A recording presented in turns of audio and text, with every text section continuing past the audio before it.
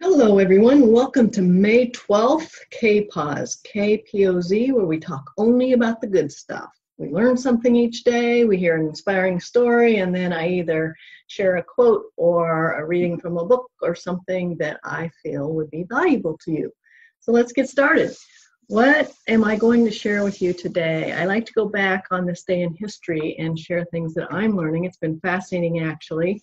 What did I learn today? I learned that on this day in 1932, they found Charles Lindbergh's kidnapped son. Unfortunately, he was not alive, but here's what happened.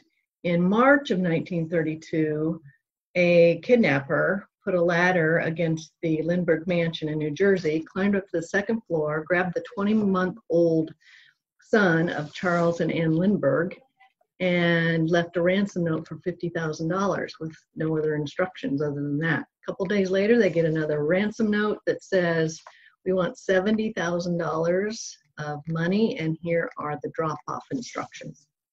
So the Lindberghs, of course, followed those instructions, and then the kidnapper got in touch with them and said, Here's where you can find your son. He's on a boat called the Nell in off the east coast of Massachusetts. So they send a team to go look for this child. They searched everywhere in the port and all the boats didn't find him. So they thought, okay, let's go back to the mansion, to the site of the crime, and search that area again. They found the son's body about a mile from the mansion. So, um, unfortunately, as you would expect, the Lindberghs were so devastated by this that they donated their mansion to charity and moved to a different location. And the crime went unsolved until 1934 when this customer went to a gas station and the service attendant noted that the person paid with a marked bill from the ransom money. And so he also felt a little uncomfortable with this character, this customer who showed up. So he called the authorities. Sure enough, they tracked this guy down. They found 13,000 more marked bills in his home. He was a um, German immigrant, and so they put him in jail, went through a trial. There was enough evidence that they found him guilty, and he was executed in September of 1934. How about that for a story? I didn't know all those details about that kidnapping. I don't know if you did or not, but it's always interesting to relearn them or re remember them if you've forgotten anything.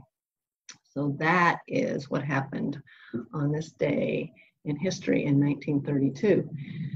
What's our inspiring story for the day? Well, I was doing some reading yesterday and I read about a family owned greenhouse located in, in Ohio who donated a million dollars worth of orchids for Mother's Day to the cities most affected by the COVID virus, to the doctors and nurses in those particular states in the facilities where they were providing care for all the patients. I thought that was a great idea. A million dollars worth of orchids to recognize them as heroes on Mother's Day. Great story. I love it.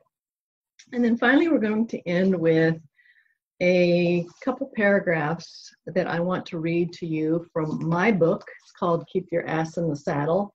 And I say this because it's true. I wrote this book as a result of going through some really challenging times in my life.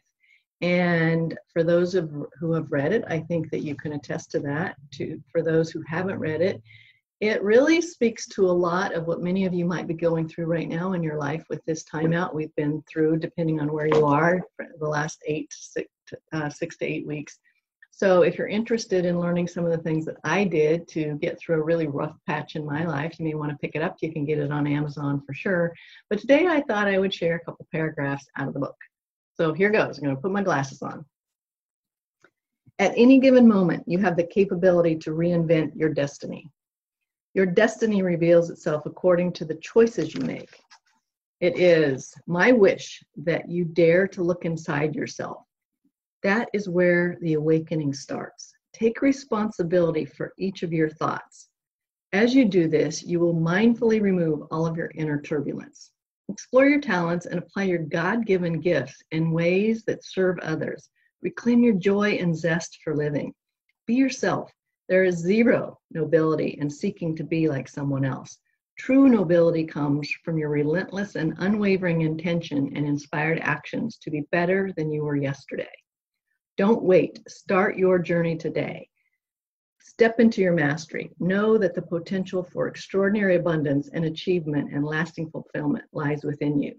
And last but not least, keep your ass in the saddle. So I wanted to share that with you today. If you haven't already read the book, pick it up. I think it would be useful for you to use as an inspiration and some guidance as we go through this time out. I know it's been tough, really, really tough for a lot of folks.